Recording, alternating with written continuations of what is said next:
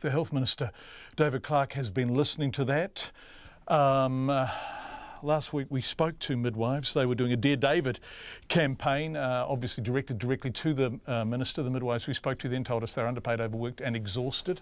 Some said that uh, after accounting for petrol car expenses and clinic rent, they were paid just over $7 an hour. And some said they were leaving the workforce because of it. Minister, are you there? I think you're in our Hamilton studio, are you? John, I'm in your Hamilton studio. How are you? Yeah, bloody good. That sound quality is fantastic. By golly, we'll have to get ministers into studios more often. Thank you so much for joining us. Uh, where are we at? The New Zealand College of Midwives is in uh, mediation negotiations, I think, with the Ministry and Crown. That actually started with the previous government, didn't it? Where is that at? It did, it did, John. Um, look, I, I want to say up front to start with that uh, I accept we've got a problem here. Um, too many of our midwives feel stretched beyond capacity. Um, it is a problem that we've inherited, you're right. Um, you know, it, hard to put too fine a point on it. We have inherited a mess. Um, it is an issue I'm taking seriously. I am listening to what the midwives are saying. They've, I could hardly avoid them. They've been sticking notes all over my office. Um, it, this is not um, just a matter of pay.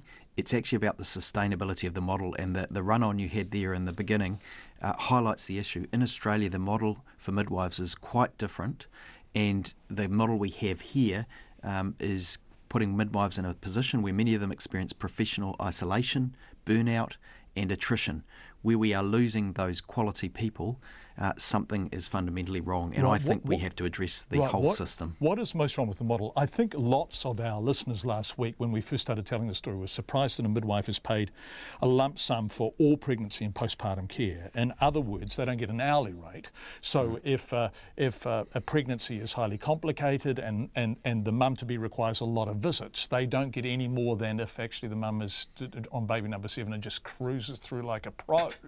That's and, right. And so this is a system which leads inevitably to midwives not earning what they're worth, doesn't it? Well, yeah, and it, as you say, it's hard to estimate what the average pay rate for self-employed midwives is, as it depends on the number of cases they handle, business overheads, travel, all of those kinds of things.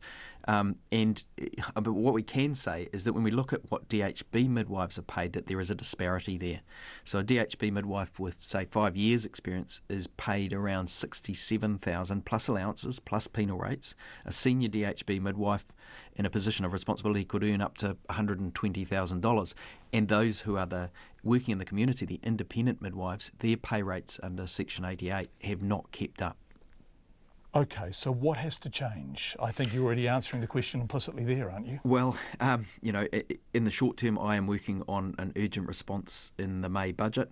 Um, but I, you know, this is both short term and longer term. Yes, there is a global uh, shortage of midwives, but this is a workforce issue. It doesn't build up overnight, and it's not solved overnight either.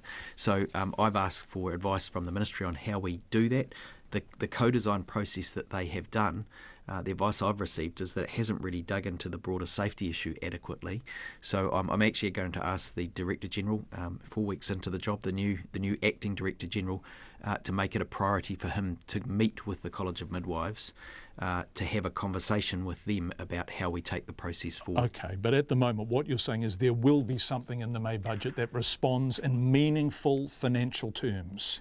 Look, the, I, I, won't get ahead of the budget process. There will be something in the in the budget process. It's not just a pay issue. I think the midwives will agree with that. It's about the sustainability of but the. But they want money. They want more money, don't they? Oh, oh, absolutely, John. And and you know we campaigned as a government on putting more money into the health system because uh, in so many places people are stretched and have been stretched for a long time and have been working on good faith.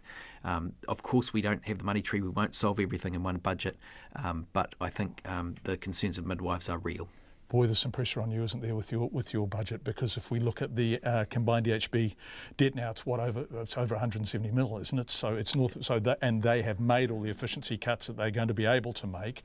Are you going to be able to find all the money you need? Mental health, midwives, you name it. Are you yeah. going to be able to write the checks you want to write? Look, it, obviously we won't be able to sort everything in the first budget, and that, that will be obvious to everybody. But I think New Zealanders will understand that. They'll understand that we are putting a priority on building a public health system New Zealanders can be proud of, and that that will take time. But we, you know, I'm personally committed to doing that. Okay, it's going to be absolutely fascinating. Are you going to be able to honour election promises around vote health? Yes, we will uh, honour the promises that we've made. The the speech from the throne that the that the government uh, made, uh, the Prime Minister made on behalf of the government, and the coalition agreement and the confidence and supply agreements are the basis of the government. Those promises that were outlined in those three uh, areas are the things that we will deliver in our first term. Okay, thanks, Minister. And one final message to midwives who are listening tonight and the thousands of people who have contacted us in support of them. Oh, from me. Sorry, John. I thought you no, were about no, to give the message. No, no, no, uh, my apologies. You, are um, the message man. I'm yes, the question absolutely. Um, no, the message from me is that, that I'm listening and I am taking their concerns seriously. I don't want to dwell on the mistakes of the past, and there are many. Uh, I accept that um, it is my responsibility to deal with the mess that we've got, and I'm personally committed to sorting it out. Uh, Health Minister David Clark beaming and rather uh, with crystal clear audio quality from our Hamilton studio. Thank you for joining us.